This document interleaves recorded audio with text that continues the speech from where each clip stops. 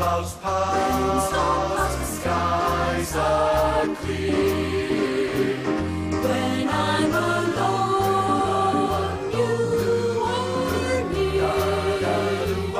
When breezes blow, breezes blow.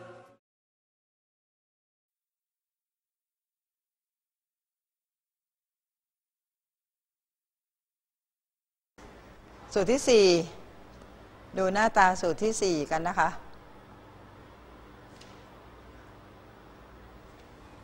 อย่าจดเพราะไม่เข้าใจจดส่งไปเขาเขียนอะไรมาก็จดจดจดรู้เรื่องไหม่สูตรที่สี่หมายความว่ายังไง ไม่ต้องจดเลยสูตรที่สี่นักเรียนดูนะคะปัญหาอนุพันธ์ของผลบวก ก็แยกหาทีละฟังก์ชันได้จริงไหมไม่ต้องจดให้งงเลย จดทำไมจดแล้วเข้าใจไหม จดไว้เดี๋ยวเข้าใจวันหลัง เดี๋ยววันหลังจะเข้าใจหลังจากเรียนไปสักสิบวัน เอาเข้าใจวันนี้ก่อน นักเรียนจำเครื่องหมาย summation ได้ไหมคะ เวลาบวกลบเราแยกหาทีละพจน์ได้ทีละฟังก์ชันได้ แต่คูณหารแยกได้ไหมไม่ได้ ต้องคูณก่อนหรือว่าหารก่อน อันนี้ก็เหมือนกัน อนุพันธ์ของฟังก์ชัน บวกลบแยกได้ เช่นดูตัวอย่างนะคะ นักเรียนก็แยกหาอนุพันธ์ทีละตัวนักเรียนยังตอบได้เลยเนี่ย ยังไม่ต้องรู้สูตรก็ตอบได้แล้ว diff x กำลังห้าได้อะไรคะ diff x กำลังห้าได้ อย่าลืมนะ อย่าลืมห้าเอ็กกำลังสี่ถูกต้อง diff สามได้อะไร สูตรที่หนึ่งเลย diff ค่าคงตัวได้อะไร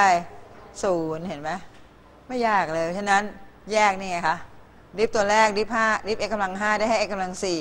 diff สามได้ศูนย์เห็นไหมคะเมื่อกี้ตอบในใจยังตอบได้เลยนะไม่ต้องมาเสียเวลาทำใช่ไหมพอเราเข้าใจแล้วอะสูตรอะไรก็ง่าย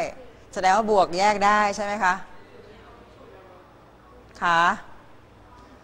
อ่าตอบคำตอบใหม่ diff x กำลังห้าได้ diff สามได้ เพราะฉะนั้นข้อนี้จึงตอบ ง่ายมากเลยตอบ5 x กำลัง4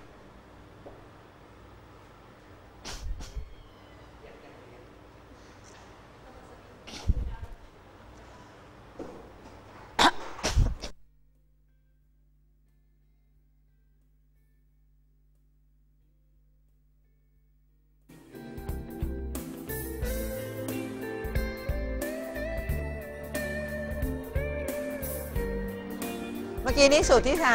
สูตรที่สูตรที่สี่บวกได้ สูตรที่ห้าก็ต้องแยกอะไรได้เหมือนกัน ลบได้นะคะ สูตรที่สี่กับสูตรที่ห้าแสดงว่ามีบวกกับลบปนกันก็ยังได้ใช่ไหมคะ เพราะฉะนั้นนักเรียนมาตอบครูดีกว่า ตอนนี้คนที่เรียนมาตั้งแต่ 20 นาทีผ่านไปสามารถตอบได้เลย ตั้งสติพร้อมจะตอบไหมคะ เดี๋ยวค่อยจดค่ะดิฟ x กำลัง 6 ได้ เก่งมากดิฟ x กกำลัง3ได้ดิฟ x กกำลัง2ได้อ่าสองกำลังหนึ่งดิฟ4ได้ข้อนี้จึงตอบ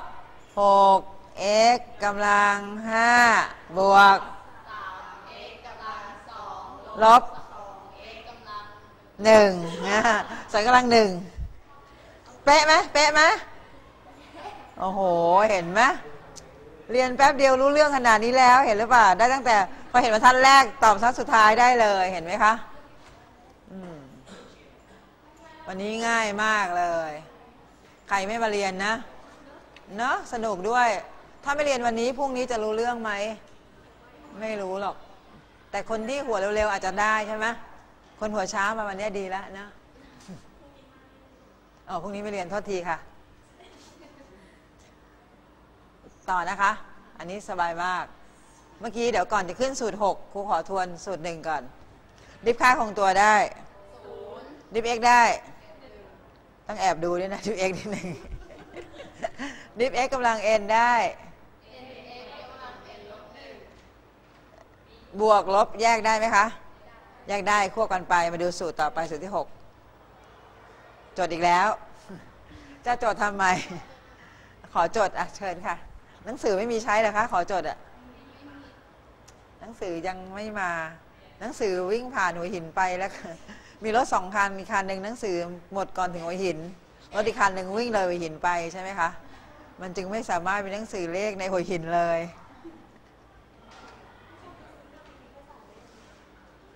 ตอนไปซื้อมีแค่สองเล่ม ป่านนี้คงจะเหลืออีกสองเล่มเท่าเดิม เพราะไม่มีใครไปซื้อเลยนะคะ สูตรที่ 6 หมายความว่ายังไงทราบไหมคะ c เป็นค่าคงตัวใช่ไหมคะ ปกติแล้วถ้าดิฟ c จะได้อะไร ดิฟค่าคงตัวได้อะไรคะสูตรแรกเลยได้ศูนย์แต่สูตรที่ 6 นี้ c ยังอยู่ให้เห็นหน้าไหมยังอยู่ ถ้ามี c ปนกับ x จำง่ายๆ c ไม่ต้องไปยุ่งกับเขาดิฟแต่ x นั่นเอง มาดูตัวอย่างกันนักเรียนจะเห็นชัด 5x กำลังสอง5ไม่ต้องไปยุ่ง ถ้า 5 อยู่ตัวเดียวจะดิฟได้ศูนย์แต่นี่5ปนกับ x กำลังสอง5ไม่ต้องยุ่ง 5ไม่ต้องยุ่งตั้งไว้ดิฟ x กกำลังสองได้อะไร ได้ 2x 5เอ็กห้าเมื่อกี้ไม่ยุ่ง เอา5มาคูณ 2x เอ็กเป็นอะไรคะ 10x 3x 3ไม่ต้องยุ่งดิฟ x ได้อะไรฮะดิฟ x ได้1ใช่ไหมคะ เพราะฉะนั้นนักเรียนคิดว่าข้อนี้ตอบอะไรคะ y y เท่ากับ 5x กำลัง2ลบ 3x ดูนะคะ สูตรที่ 6 ค่าคงตัวไม่ต้องยุ่งกับเขาดิฟนะคะ 5ไม่ต้องยุ่งดิฟ x กำลัง2ได้ 2x 3ไม่ต้องยุ่งดิฟ x ได้ ไม่ใช่ดิฟ x ที่ไหนได้ศูนย์หนึ่งค่ะ กูหูไม่ดีค่ะ ตอบเท่าไหร่คะ ตอบ 10x ลบ 3 เห็นไหมคะคำตอบถูกต้องค่ะ ดูสไลด์นะคะ สไลด์ค่ะ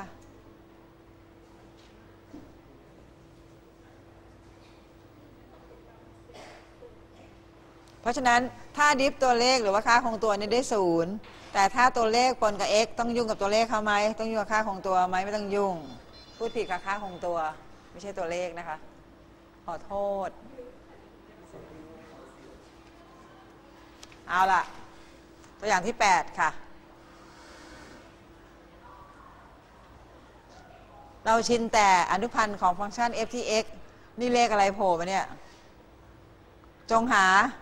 อนุพันธ์ของฟังก์ชัน f ที่ 1 หมายความว่า